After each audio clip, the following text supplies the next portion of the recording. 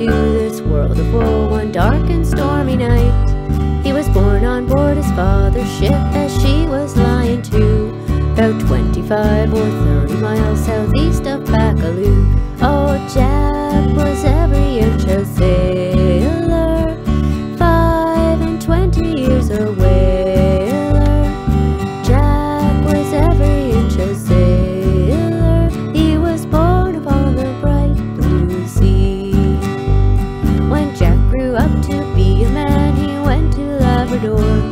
He fished in Indian Harbor where his father fished before.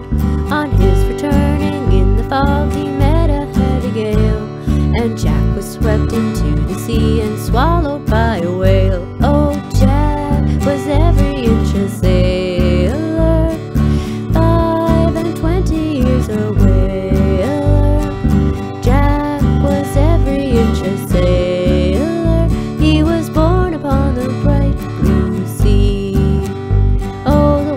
straight for Baffin Bay, about 90 knots an hour.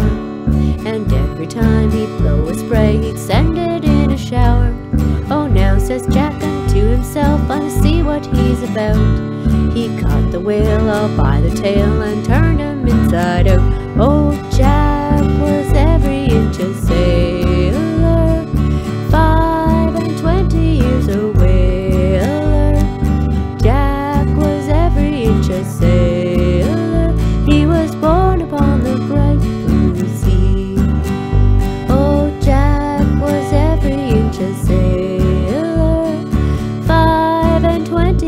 away.